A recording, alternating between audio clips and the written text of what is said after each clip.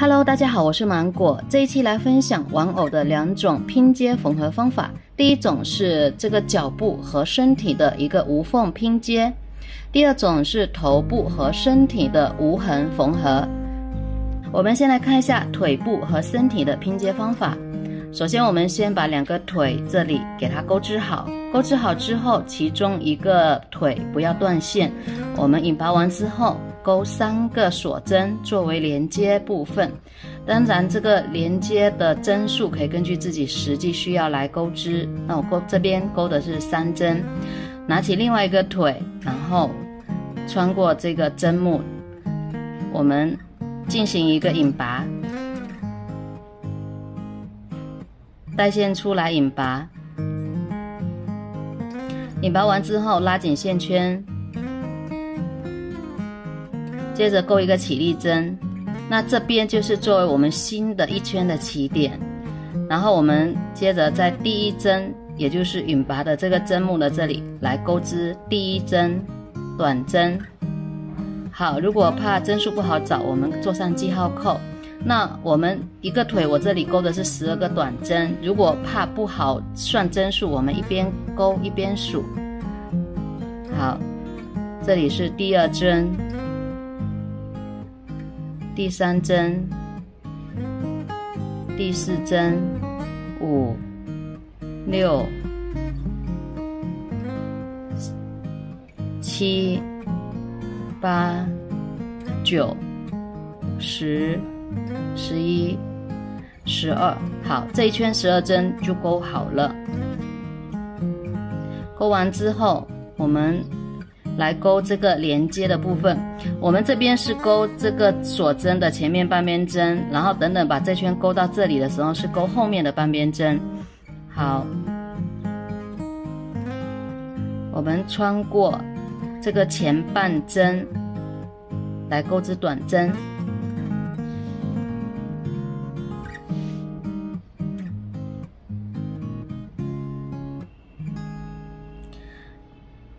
这边我们三个三个锁针，所以我们要在这个上面来钩织三个短针。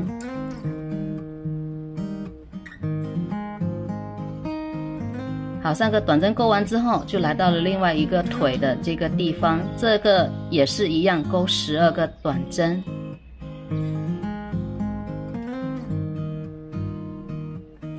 好，这个这圈钩完之后，就来到了。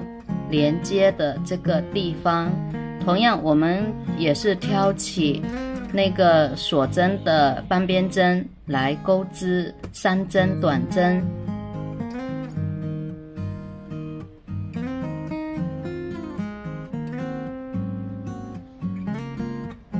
一、二、三。好，三个短针钩完之后，这一圈就算结束了。结束之后，我们要做跟第一针来做头尾的引拔连接。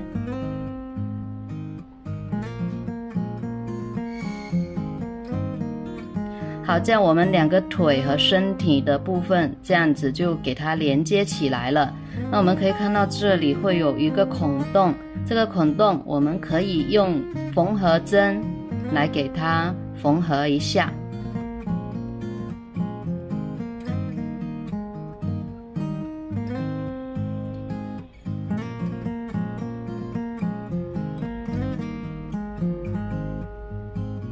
缝合好之后，我们把这个线头给它隐藏一下，然后把它剪掉。那接下来按照我们正常的钩织就可以了。那这样两个腿就拼接起来了，而且也没有孔洞。接下来我们来看身体和头部的一个无缝缝合方法。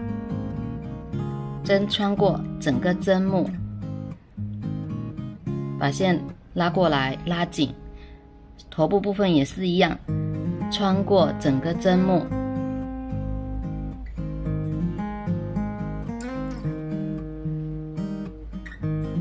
然后把线拉出来之后拉紧线。它的穿针方法就是从右往左挑起整个针目，然后穿针过来。大家可以看一下它这个穿针的位置，头部也是一样，同样的一个穿针位置。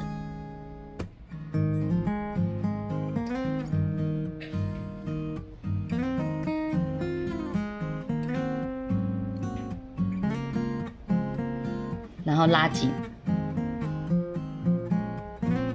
这边主要大家需要掌握的是一个，一个是它的这个穿针的位置，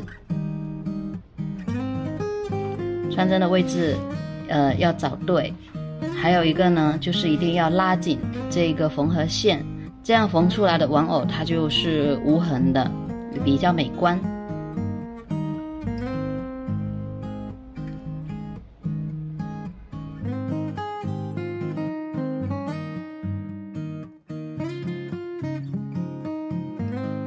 好，两个缝合方法都分享完了，你学会了吗？我是芒果，喜欢记得点赞关注我哟。